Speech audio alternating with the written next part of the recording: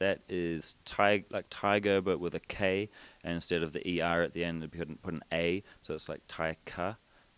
Uh, it's actually T A I K A, so you'd add an A between the T and the I in tiger, so it's like Taika. And then Waititi is like Waikiki, the Hawaiian um, beach.